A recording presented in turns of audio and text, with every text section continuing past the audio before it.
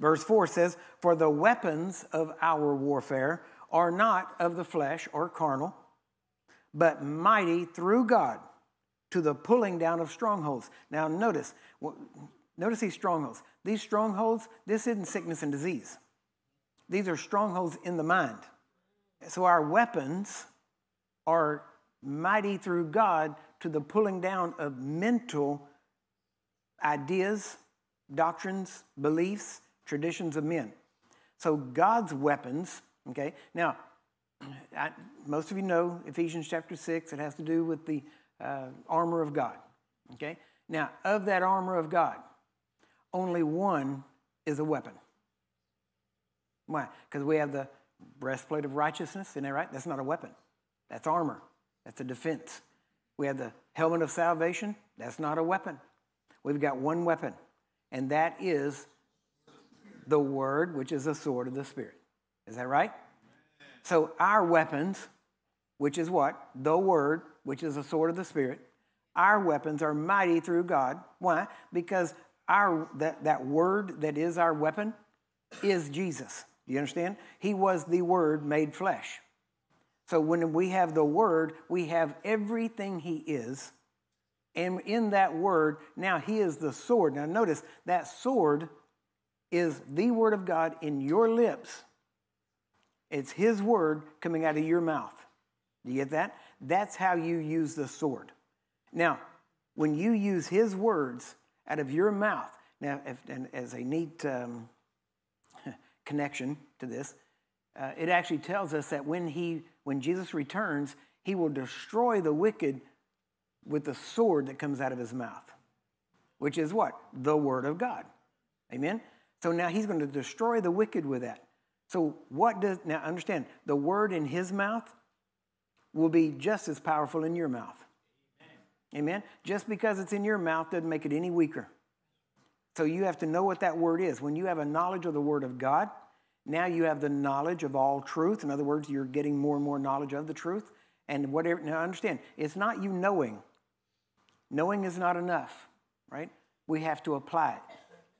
So it's not just knowing, it's what you've got to do, right? With that word. You can't just know, well, by his stripes I'm healed. You can know, you can know that and still die of your sickness. You, in other words, you have to apply that. You have to decide this is true for me. This is His word to me. He was speaking to me. If there was nobody else around, nobody else on earth, He would be saying that to me today. That by His stripes, I was healed. And you have to decide that's true for you. And when you do, now it becomes part of you. And when you do that, let me tell you, well, if you believe, okay, here I start to walk around my deal like I always do. See, that's about as demonstrative as I get right there. That's about as theatrical, okay? But the minute you believe that by his stripes you were healed, you know what happens?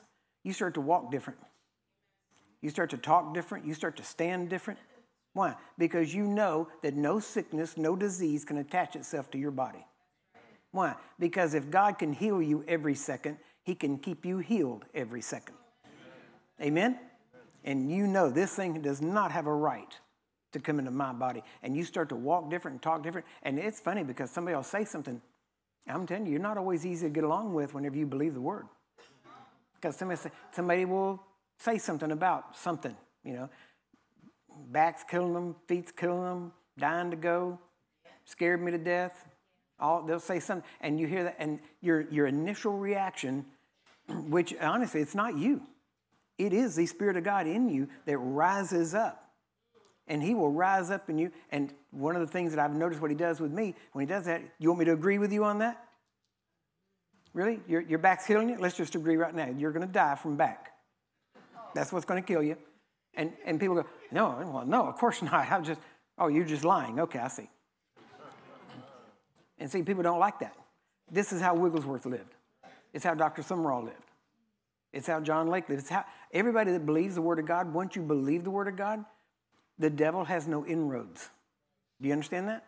He has no inroads into you. Why? Because as soon as he tries to even do a probing attack, well, let's just see how we can get in. He'll say something, you'll rise up. No, you don't.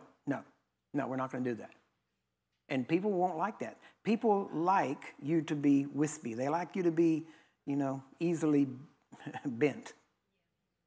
But God isn't that way. And so you will develop that in you to be able to go, no, we're not going to do that. No, we're going to do this.